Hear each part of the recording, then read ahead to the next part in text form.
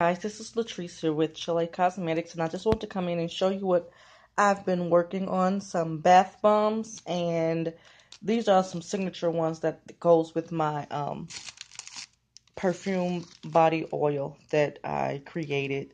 And it's going to be a set.